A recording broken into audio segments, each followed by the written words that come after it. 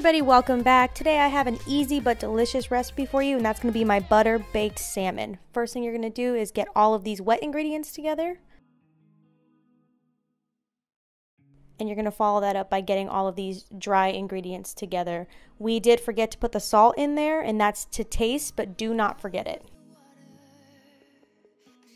What you're going to want to do is mix all of your wet ingredients together and just as a side note, you guys, it does not get easier than this as far as making salmon goes. This is literally a put everything in the bowl, mix it all together, dump it on the salmon, and it's delicious.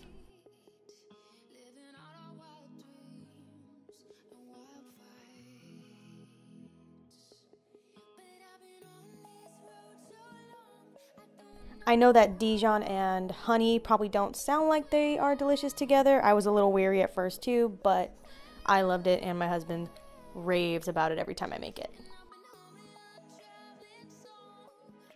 After all those wet ingredients are in there, mix them up really well. Make sure there's no clumps sticking to the sides and dump in all those dry ingredients. I'm going to say this for a second time, just in case you forget, do not forget the salt like we did. It's to taste whatever you think. Don't over salt it, but definitely don't undersalt it either.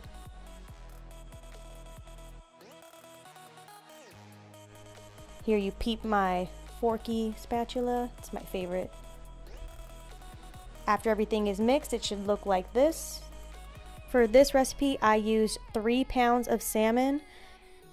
And I'm just to let you know right now as far as cutting goes. For this one, I went right down. But for most, you're going to want to push the knife down on the salmon. That way you're not ripping the fibers apart. After that, you're going to get your pieces of foil, flatten that down on your counter. Put one piece of salmon in the center. You want enough foil so that way you can create a little tent. It's not easy, it's not going to look pretty, but as long as you can keep all of that glaze in there, that's all that matters.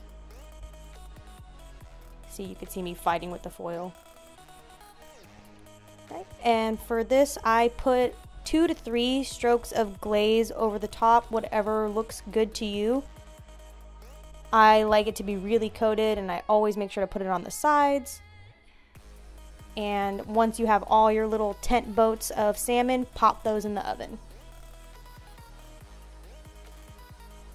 Set your oven to 400 and we originally did this for 10 minutes thinking that it was going to be enough, but it turned out it was not. So I upped it for about five more minutes, making it 15, and that's when it turned out perfect. This was our tester. We went ahead and unwrapped the foil.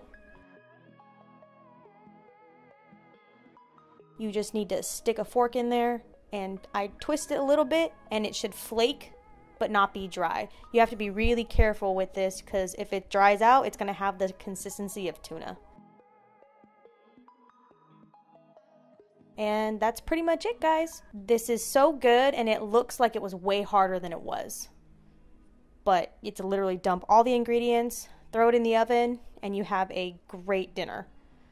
Thanks for watching, you guys. I appreciate you so, so much. If you have any questions, let me know down there.